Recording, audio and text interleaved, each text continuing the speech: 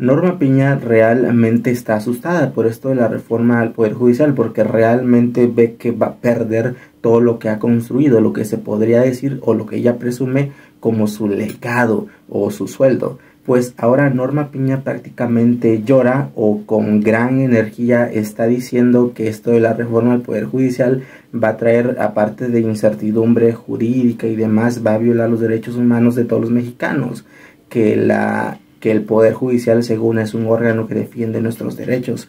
Pues ahora Norma Piña estuvo invitada como una invitada de honor para inaugurar o estar adentro de esto de la inauguración del Congreso de Iberoamérica del Derecho Constitucional en la UNAM. Escucha esta nota que está realmente interesante. La democracia constitucional atraviesa momentos muy delicados y muy difíciles, advierte Norma Piña. Los derechos humanos están en riesgo cuando un poder de cualquier tipo no puede ser contenido, frenado y controlado. Eso es lo que está diciendo Norma Piña en este eh, Congreso de la UNAM de Derecho Iberoamericano.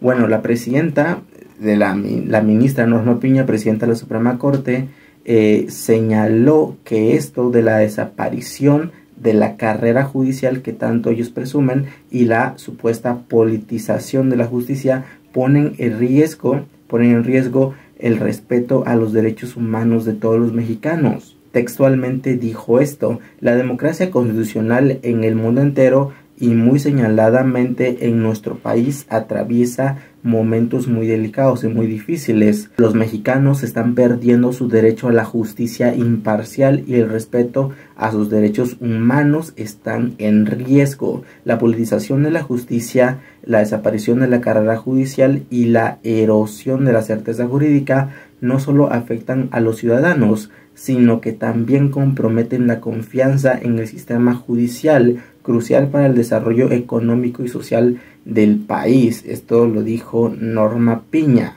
Nos ha llamado la atención de la comunidad nacional e internacional señalando que, cito, los mexicanos están perdiendo su derecho a una justicia imparcial y el respeto a sus derechos humanos está en riesgo.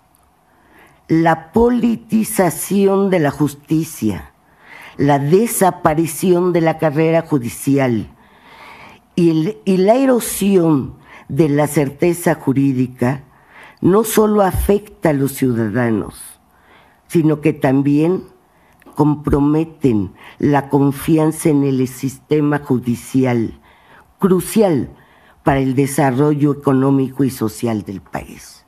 No cabe duda, y hay mucha evidencia que nos proporciona la historia y el presente en muchas latitudes, de que los derechos humanos están en riesgo cuando el poder de cualquier tipo no puede ser contenido, frenado y controlado. Es también una verdad evidente que uno de los propósitos de un poder judicial independiente, y lo subrayo, independiente, es proteger los derechos humanos y ser un contrapeso al poder que no podría amenazar esos derechos.